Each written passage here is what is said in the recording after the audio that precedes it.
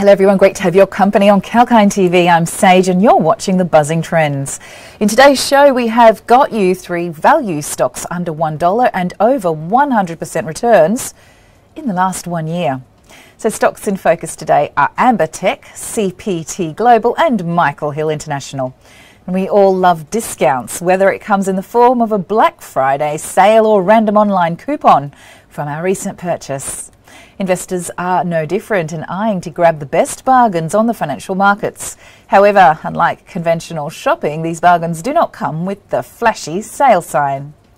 They more often remain under the radar to be cherry picked through the art of value investing. Embraced by the likes of Benjamin Graham and Warren Buffett, value investing has remained as one of the key investment styles to minimise risks while meeting investment goals over time. So, what exactly is value investing? It is very important to understand this concept before we jump into exploring the value stocks like AmberTech, CPT Global, and Michael Hill International. Well, value investing is a popular approach to investing which involves buying stocks or securities that are quoted at a lower price than what they are worth.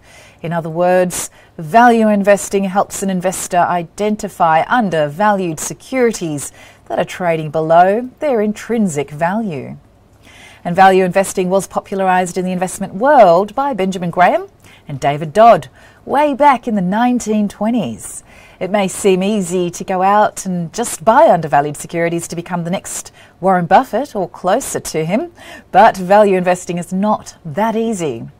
And the knowledge and skills required to identify the true value of business like Buffett is not a game of mere Excel sheets. Finding the intrinsic value of a share is the most difficult part, which is determined by doing fundamental analysis of the company. And once the true value, which is intrinsic value, has been determined, the strategy then capitalizes on an assumption that sooner or later the market would price that security at its intrinsic value, and hence finishing the gap between the current value and the intrinsic value. This valuation gap is the potential profit that a value investor aims for and therefore value investors are constantly on a hunt for securities that, in their opinion, are trading below their intrinsic value. They also take the opportunity of temporary market reactions, which is often caused by a good or bad event, such as the recent COVID 19 pandemic, to buy stocks at quite a bargain. The assumption behind buying stocks at these knee jerk reactions is there is no change in the fundamentals of the underlying business and it's just a temporary noise that has created such a value gap. All right, I believe we can now look at three such stocks with a price to earnings ratio under 10, and these stocks have delivered significant returns in the last one year. The first one to look at is AmberTech. Now, this company distributes audiovisual solutions in Australia and New Zealand for all types of installation projects. The solutions are catered to broadcasters, content creators, commercial and residential installers, consumer electronics, and musical instrument retailers, as well as government and non government users of communication infrastructure. The company reported solid results for the financial year 21, with revenue from ordinary activities increasing by 36%. And meanwhile, profit after income tax attributable to members improved by over 549%. And it's time for a small break, but stay tuned with me on Kalkine TV.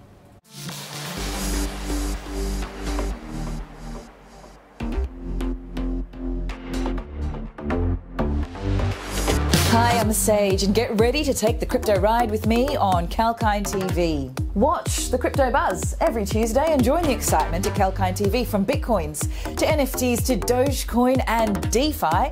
We have updates about everything around these digital currencies. Understand the investing rationale and the risks involved in the space with me, Sage, on Crypto Buzz. Keep watching Kalkine TV.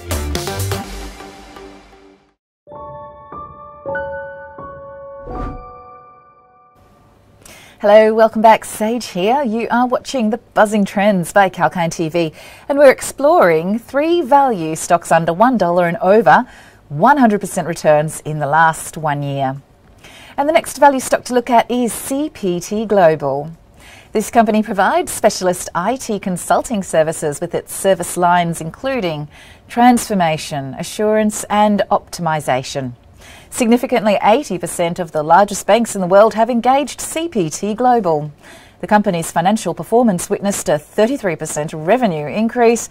The strong growth was driven by a 51% year on year revenue increase from the Australian segment.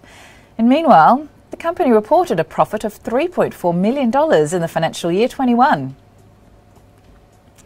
And the last stock to take a look at is Michael Hill International. Michael Hill is a multi channel retail jewellery chain that operates globally. It has a range of stores as well as a digital platform across Australia, Canada, and New Zealand. The company's statutory net profit after tax edged up in the financial year 21 to $45.3 million. And Michael Hill saw its digital sales rise 53% to a record $34.8 million.